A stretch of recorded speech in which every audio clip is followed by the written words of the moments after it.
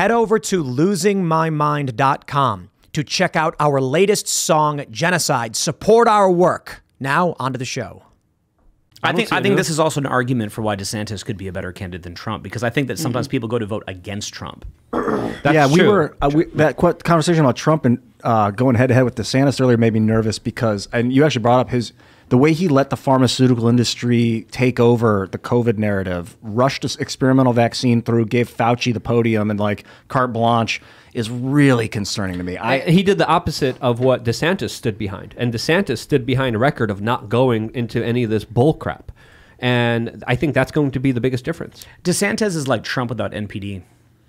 Could be. Yeah. What's NPD? I, I know you disagree. Narcissistic person. I, I, I think Trump's hilarious. Like I will watch Trump for hours laughing until I cry. He's so Yeah. funny. One Did- of the funniest guys I've ever seen. But I think he may have NPD to be honest. So, with you. so Rebekah Jones was running against Matt Gaetz. Did she really expect to beat Matt Gaetz? She lost. She's got a criminal trial coming up or whatever, but they, they called that. It's just like, did they really? You think you're going to beat Matt Gaetz? That's ridiculous. Come on. And and you know, I, I'll concede, Trump absolutely hilarious, Uh, g- a genius He's a funny wordsmith. guy, man. He's awesome. And when he's on stage, he's a master orienter. Like like the way he could move Or- crowds. orator. Orate, orienter. Both. potato potato. But but he, He's really good at aligning the podium and like with Yeah the yeah lights. yeah. Orienter. He's also You going know, to go you down know- as you a, know what I he's mean. also going to go down as a, I think Yeah. we'll appreciate him more when he passes. He's going to go down as a living legend. Imagine looking at him in 300 years from now. These old speeches that he did. He's going to go down as an, a legend. Sounds like they may be calling it for Kemp. Let me see if we have any. Uh, Grudowski's saying that Zeldin will be the first Republican to carry Staten Island in a governor's race since 2002, and it's not even close. Brian Kemp wins. Political that's poll. good. Decision Desk HQ predicts Brian Kemp has won Georgia governor. Stacey Abrams Oh, lost. Wow, I'm so surprised. at least she still got But her wait, acting she- career. So, so here's the issue. They're calling it. How could there be a red mirage? They've called it. There's no way they uncall it. That would be insane. Well, Um, it could be like three o'clock in the morning and a whole truckload of votes come in. I don't know. That's why I, I, I said poll watchers should be sitting outside these buildings with a with a 360 view of them all night, chilling in, in lawn chairs, enjoying a bag of pork rinds. You know what's funny? I have my poll watcher certificate sitting on my uh, coffee table right now, and I'm here. So did you do it before? Poll Well, watch you before? know. I'm technically an elected committee person in Philadelphia, and so they just gave me one, but I had prior obligations. Oh no, Stacey Abrams, she lost.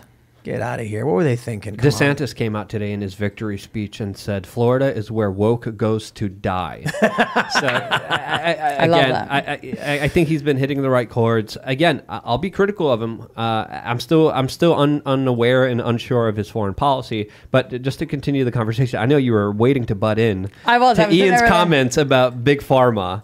Uh, Bennet, No, I Bennet actually wins in agree with that. Colorado. They're So- calling they're calling uh, uh, Colorado for Michael Bennet over O'Dea. A lot of people thought that was going to happen, so we'll see. It's, it's only 43% reporting, but they're calling it. So they There called was- it. There was a lot towards the end that I was unhappy with Trump for. One was like when he was advocating for the two thousand dollars stimulus, and the other was his push of the vaccine and Lockdowns. That yeah, He supported lockdowns. He two started weeks. lockdowns. I mean, two just- weeks to slow the spread. Uh, honestly, I, I was very unhappy with that. However, the whole the whole thing seemed to like start falling apart. I remember that he had an aide that worked for him whose father died, and and he said to Trump at one point, he's like, "Not only did I lose my father, I lost my job, and you lost the presidency." Like it was like it was um, something they didn't under they weren't prepared to hand like deal with. I the think. New York Times needle has for the Senate has ticked one degree to the right. Oh, yeah. It's still a toss up, but now it's off center, slightly to the right. This is what's going to slowly throughout the night. It's going to slowly start going down and down and down. It's going to lean right. Very likely Republican. I hope Republican so. win. I hope you're right. From your lips to God's ears. Well, but uh, at the same time, the chance of winning the House has actually gone down three points since the beginning. But we'll see. I really it, wouldn't it be, wouldn't it be weird if they lose the House but win the Senate? That's like 530, 538 said there was no chance that could happen. Yeah.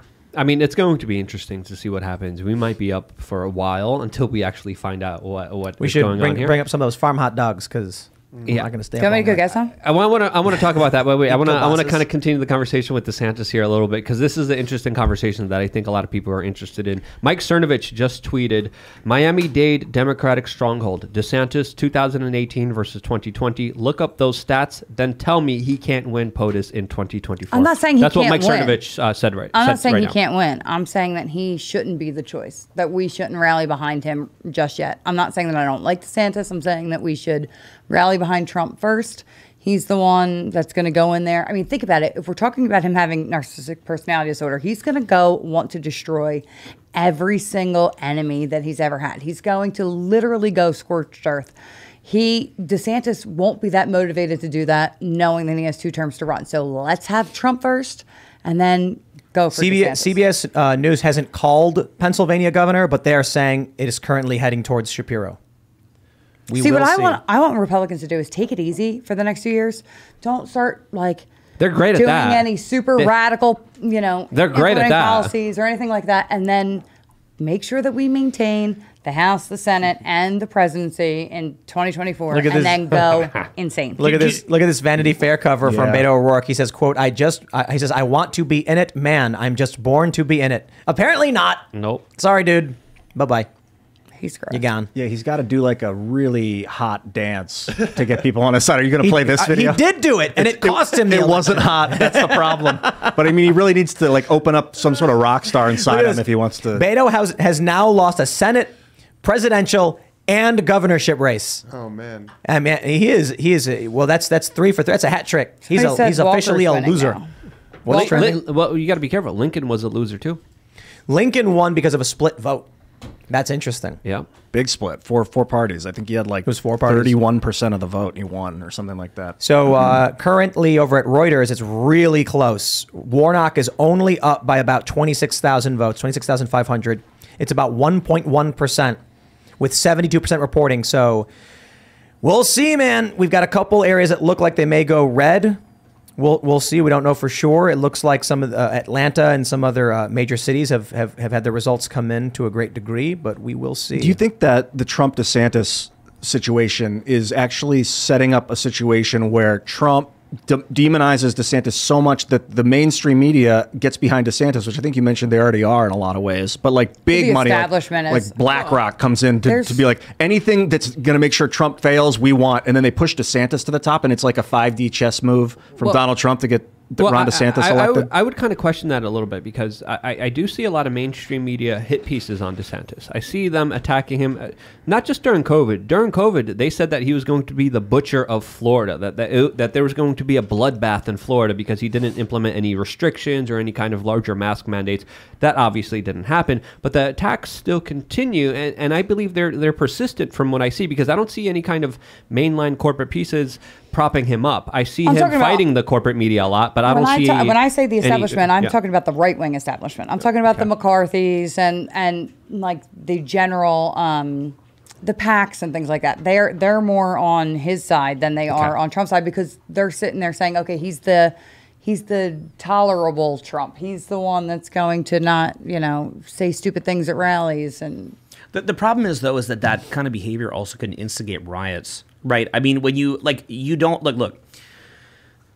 I'm on your team on this, but do you not think that the way that he handled the George Floyd situation kind of provoked a lot of what happened? no. You don't think he provoked it at all? No, I you don't. think- you don't think there was an, any other way that he could have spoken about it that could have de-escalated the situation? No. No, They- not. you They, they, they, they set uh, Antifa and Black Lives Matter went around setting fire to DC before the dude was even in the o- in office. Yeah, he fair didn't say enough. anything. Yeah, but Like, is- there- there's there's There, there's so many ways that I think that he could have de-escalated the situation, and I felt like he Are you antagonized. Bro, talking about got- Trump or DeSantis No. right now? Trump. He's talking Trump. about Trump. dude. No. I I I I, I and, feel and, like and I understood his perspective completely, but it But just I- but I- you know, but I, I- I can put myself in the head of somebody else. But see, I think the issue you're, you're lacking is, and most people watching probably understand. I think you very much overestimate the good faith of these people. Mm-hmm. They when when they went around smashing and destroying and killing people, the media lied for them, and they lied for it. When Jack Posobiec got punched on the street, and the cops saw it happen and walked up, this anti woman goes, "Nothing happened. I didn't see anything."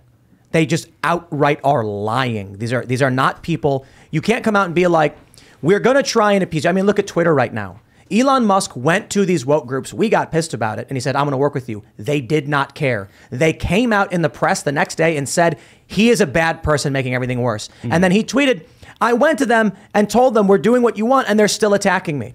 There's nothing you can So- say to an angry mob that mm. just wants. Okay, so so Power. in in the protests, what percentage would you say would be far leftist, and what percentage would you say would be mainstream people?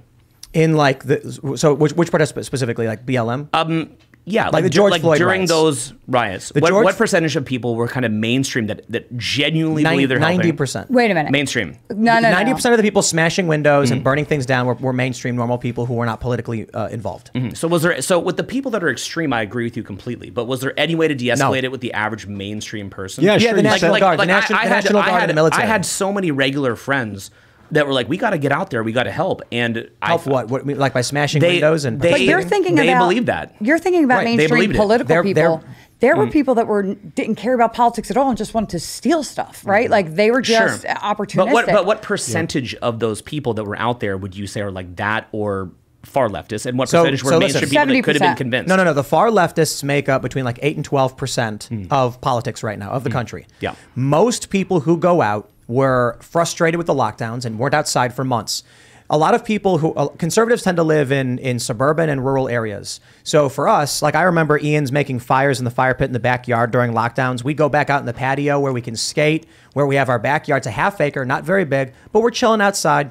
We have some burgers, we grill or whatever. For people in New York City, you couldn't leave your, your your studio apartment. You're literally some people have no windows. Their windows look at brick walls. They're locked in. Okay, but- when the riot started, they just said, "I'm outside. I don't care." Thanks for watching this clip from the Timcast IRL podcast. Hang out with us live Monday through Friday at 8 p.m. and become a member over at timcast.com for uncensored, members only shows exclusive. Thanks for hanging out, and we'll see you all next time.